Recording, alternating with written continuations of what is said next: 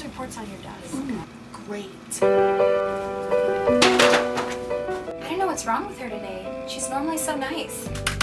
Usually really helpful. I don't know, figure it out. Gail, get her Arby's!